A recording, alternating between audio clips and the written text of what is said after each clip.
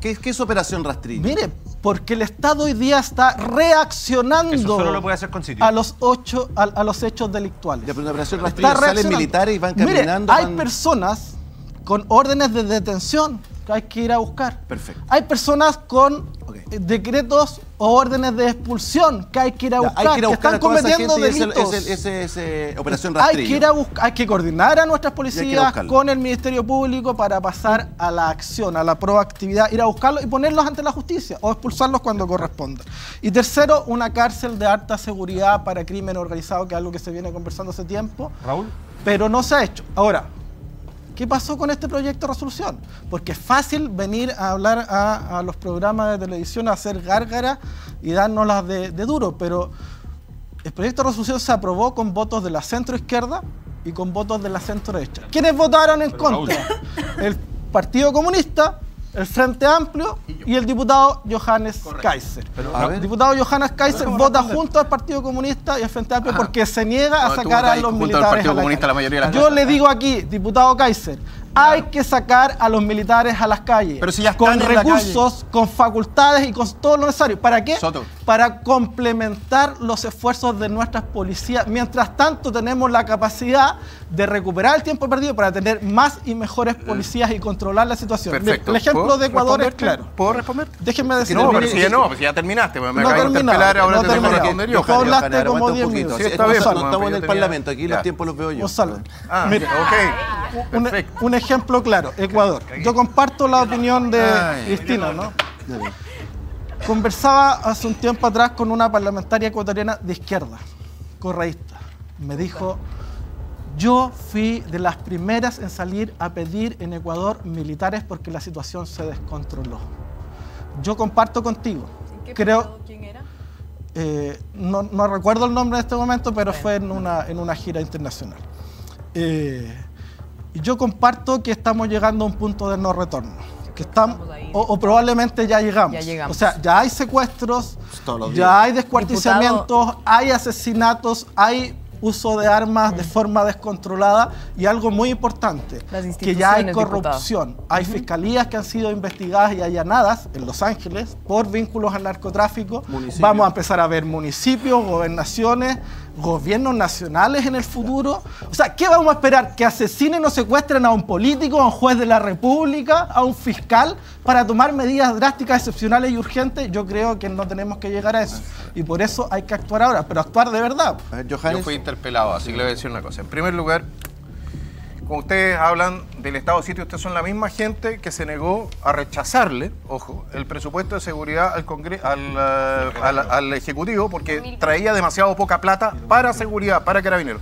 A ver, ¿qué fue lo que nosotros, lo que yo articulé en su momento? Yo dije, ¿sabes qué más? Si ustedes no le ponen plata a carabineros para reclutamiento de 5.000 Toda nuevos carabineros quiera. anuales, Toda la que quiera. no, no, pero que ustedes votó, usted votó en No, contra. yo- usted votó a favor del presupuesto que del gobierno que nosotros Yo criticamos. todo lo seguridad No, a favor. usted lo votó Todo, a favor, exactamente. todo. Y el Y problema lo de la plata, la plata la era alza de las demasiado tarifas poca. No la me cambie Diputado, No me cambie No me cambie el tema. No me cambie el Yo les voy a hacer, diputado. les voy a Johannes, hacer, termine. les voy a hacer una descripción porque ustedes tienen que imaginarse lo siguiente. Nosotros tenemos 9.000 soldados, de los cuales, de los cuales nosotros tenemos en este momento 2.000 a 3.000 empleados solamente en el sur. Ahora, esa gente duerme, no son palitroques. Esa gente duerme, tiene familia, tiene que hacer sus cosas, etc. Vienen de todo Chile. Es decir, que nosotros en la Araucanía, para el estado de excepción de la Arau- Araucanía, tenemos comprometido por lo menos el 50-60% de nuestra fuerza operativa. Llega esta gente, llega esta gente que no quiere poner más lucas para soldados con cripto, que no quiere poner más lucas para carabineros, que no quiere poner más lucas en general para gendarmería, para espacio carcelario. Una cárcel de alta seguridad no te resuelve el problema, necesitáis espacio para 30.000 personas. ¿Ya?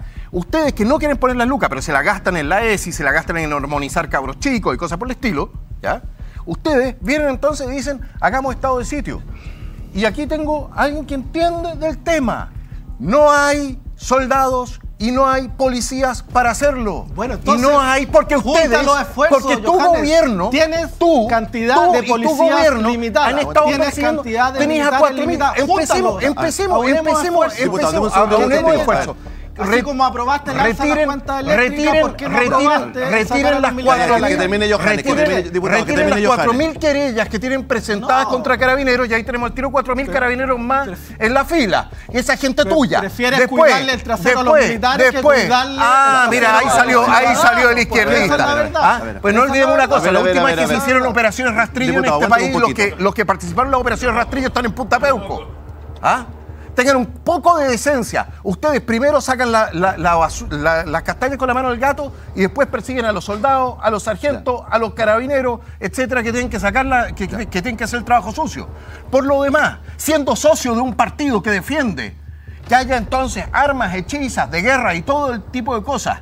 En, en la Radio Francia, por ejemplo, ¿para qué hablar de los contactos con la FARC?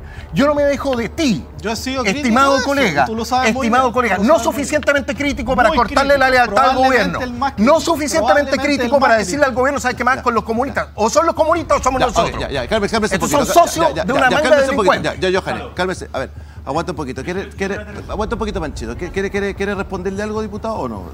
A ver, el diputado. Kaiser, así como votó a favor de las alzas las cuentas de la luz, yo voté en contra Ah, de la propuesta de este gobierno. Y querías ¿Por qué? mantener congelada la Porque sabía que se iba a venir este problema y porque la propuesta de subsidio Y lo- era y insuficiente lo habréis y lo hemos seguido congelado. diciendo. Ya. ¿Hasta cuándo? Y así Ya, eh, como votaste a favor, ¿por qué ¿hasta no lo quisiste votado? votar a favor? La posibilidad Ya, de sacar a los ya, tengo que abrir, militares tengo que- el juego, tengo que abrir el juego. Eso lo decía el presidente Eh, diputado, diputado Soto, aguánteme un poquito. Eh, Johannes, aguánteme un poco, por favor. A ver, muchachos, la verdad es que está el programa muy caliente, muy, muy caliente. Necesito, necesito enfriarlo un poco. Necesito.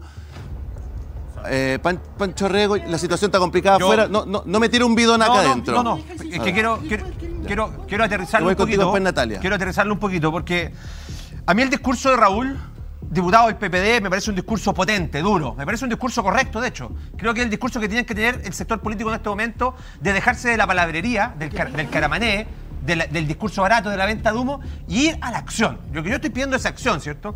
Y usted, diputado, me señala, yo estoy dispuesto a hacer operaciones rastrillo, a salir a las calles a buscar a la gente con órdenes de detención.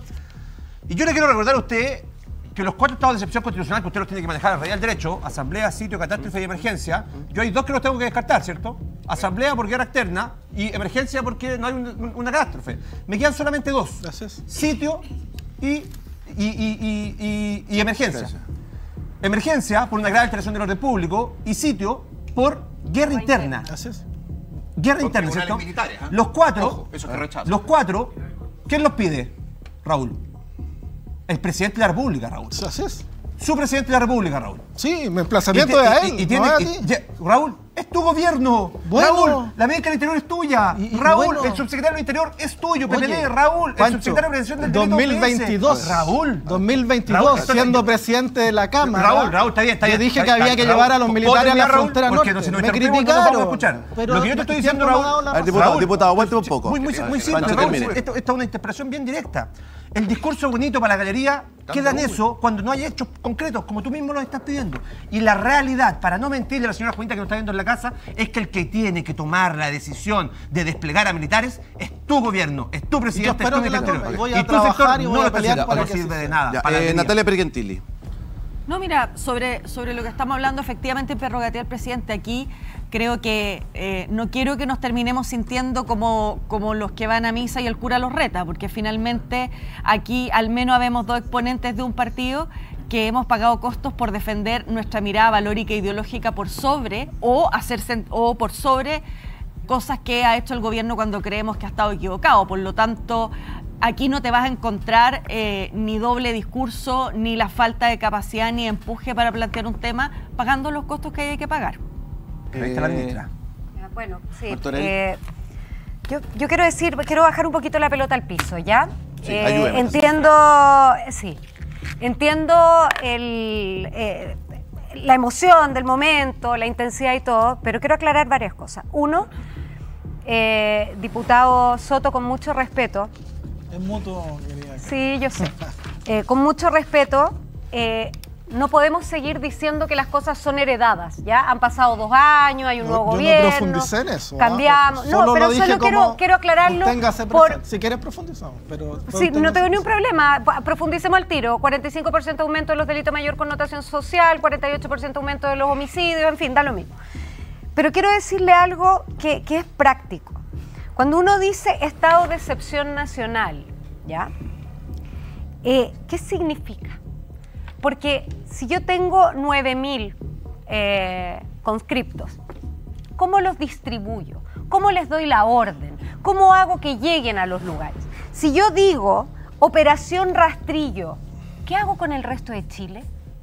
Porque hoy día la realidad es que me faltan muchos carabineros. Entonces, ¿qué hago con los municipios? ¿Qué hago con la... ¿Dónde están el resto? ¿Abandono todo y salgo a hacer una operación rastrillo? Eh, si yo digo una cárcel de alta seguridad, sí, me parece bien, eh, pero, pero hay que trabajarlo bien. Y es más, hay modelos mucho más simples que están relacionados con segmentar, más que crear una cárcel de alta seguridad, porque como decía Johannes, necesitamos 30 Pero, mil. Katy, ¿qué harías ¿ah? tú? ¿Qué A mí, a mí me parece que hay varias cosas que hay que Porque si me hacer. preguntáis a mí, yo saco a los militares de una. Yo, mira, yo estoy de acuerdo primero en que estén hablando de estado de sitio. ¿Por qué? Porque estado de sitio permite que puedan salir los militares sin tener las RUF.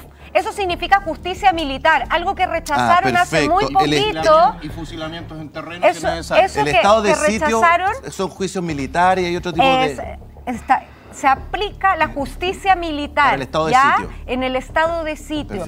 Por lo tanto, y detención en los lugares que se determine, pues una casa. Entonces, ¿qué- qué- por qué planteo esto?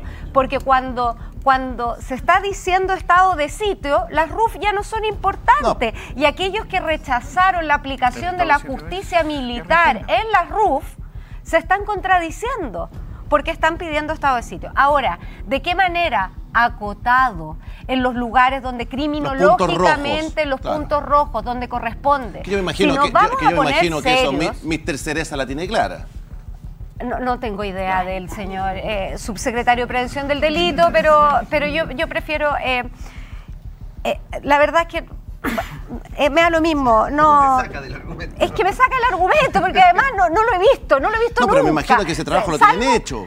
Saben los puntos críticos, las Bueno, zonas rojas. Yo me no, imagino. a ver, pero primero eso, a lugares acotados, establecidos donde se requiere. Segundo, si no hay control en la frontera y no empezamos a deportar como corresponde o a expulsar, nada de esto tiene sentido.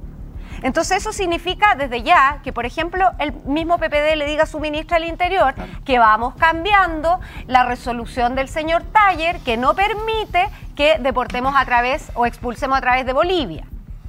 ¿Qué, otro, ¿Qué otra cosa se puede hacer? Hoy día se está invirtiendo en algo que me parece interesante, lo único que destaco el Plan Calle sin violencia, que no lo hace el gobierno, lo hace el Ministerio Público, que es eh, la plata que le pone el gobierno para el trabajo en homicidios eh, y que ahora va a reforzar. Yo creo que aquí ya urgente se necesita un trabajo de inteligencia con la UAF, con, en fin, son varias cosas las que se pueden hacer en territorio desde ya.